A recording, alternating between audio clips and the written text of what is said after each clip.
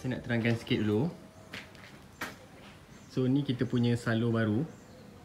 Salur baru yang kita sambung dengan salur lama.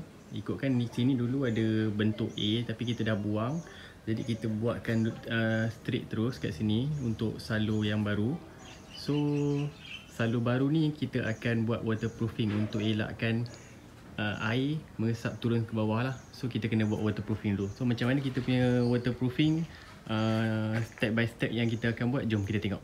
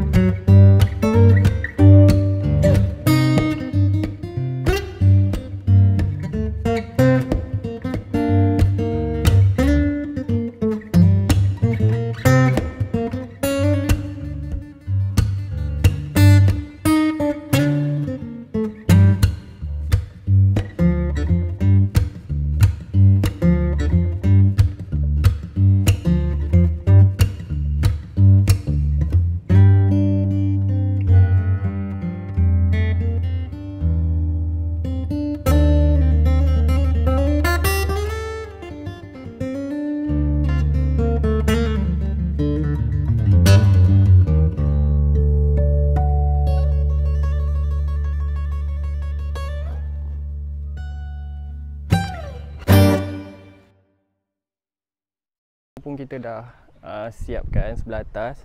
So sekarang uh, untuk progress seterusnya kita akan uh, buat kerja-kerja plaster lah sebab kita punya uh, frame tingkap pun kita dah uh, kita dah siap pasang uh, marking pun kita dah siap marking semua sekarang kita tengah kita akan jalankan kerja-kerja ataupun proses uh, plaster pula lah untuk uh, untuk kerja-kerja uh, ubah suai kediaman ni.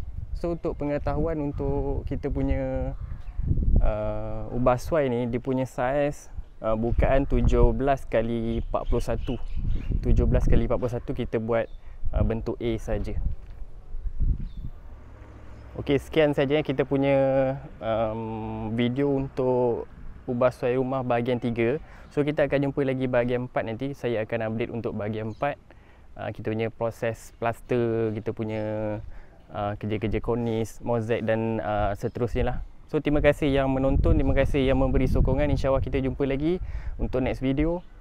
Terima kasih. Assalamualaikum. Can anybody out there